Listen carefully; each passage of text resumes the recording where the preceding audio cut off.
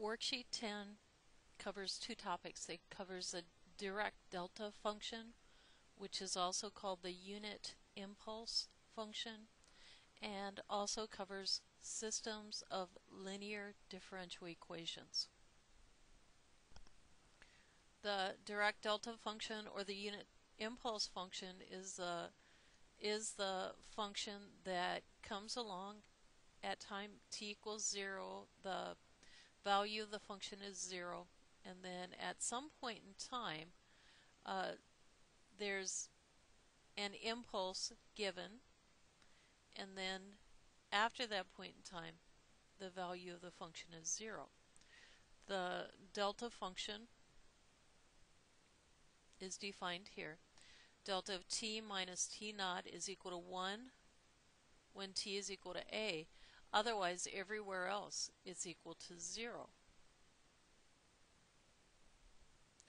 And uh, this Laplace transform is not really correctly written. It should be Laplace of delta t minus t naught is equal to e to the negative s t naught.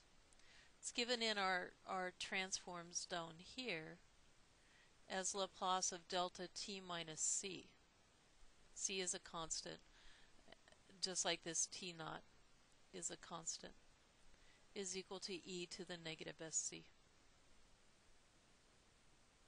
It's kind of interesting to note that if you apply the inverse Laplace to e to the negative s t naught, you don't get back to the delta function, but you get back to the unit step function.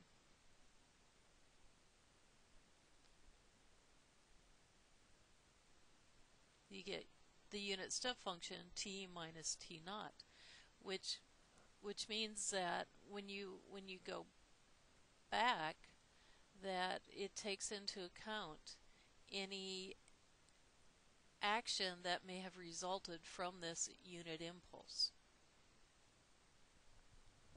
Well, let's look at uh, applying the Dirac delta function to solving